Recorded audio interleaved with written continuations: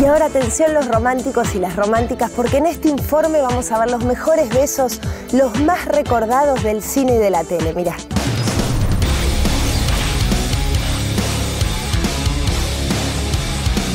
Esta semana la telenovela Farsantes nos tuvo en vilo a todos esperando el beso más aclamado del año, que selló la historia de amor entre Julio Chávez y Benjamín Vicuña.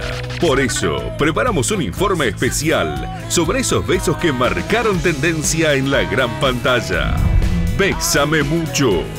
Yo no sé si es prohibido, si no tiene perdón si me lleva al abismo, solo sé que es amor. La actriz Ingrid Bergman una vez dijo que un beso es un truco encantado para dejar de hablar cuando las palabras se tornan superfluas. En Casablanca, la historia de amor más importante de todos los tiempos, su beso prohibido con Humphrey Bogart demuestra que hay cosas más urgentes que salvar al mundo. Los cuentos de hadas nos enseñaron que un beso tiene el poder de despertar a una princesa hechizada o convertir a un sapo en príncipe. Pero el beso animado más recordado ocurre entre los perrunos protagonistas de La Dama y el Vagabundo. Hay besos franceses y besos de Judas, pero el más temido, sin lugar a dudas, es el beso de la muerte. En la segunda parte de El Padrino, Al Pacino besa a su hermano Fredo Corleone sentenciándolo así al asesinato más apasionado de la mafia italoamericana. El beso bajo la lluvia entre Ryan Gosling y Rachel McAdams en Diario de una Pasión es uno de los favoritos entre el público femenino. Pero el beso más inolvidable y profundo ocurre entre Leonardo DiCaprio y Kate Winslet en la cima del mundo, poco antes de que se hunda el Titanic.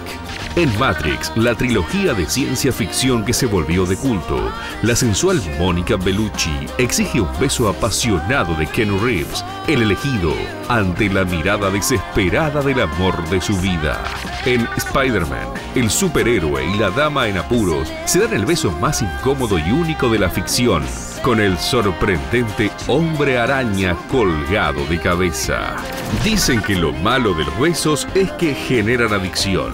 El beso de la adictiva saga Crepúsculo entre Kristen Stewart y el vampiro Robert Pattinson fue votado por sus fans como el mejor beso del séptimo arte. Con su música emotiva, la secuencia final de Cinema Paradiso revive todos los besos censurados del gran cine italiano.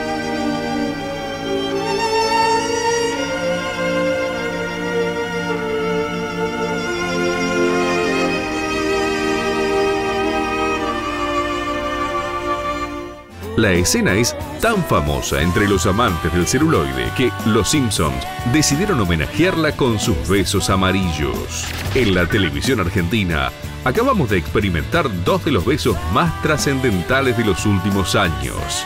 En Farsantes, el beso entre el ex convicto Facundo Arana y la abogada Griselda Siciliani causó furor en el público. Y el lunes, fuimos testigos del prometido beso entre Julio Chávez y Benjamín Vicuña. Es que tanto en la televisión como en la pantalla grande, la magia de un beso nunca deja de marcar tendencia.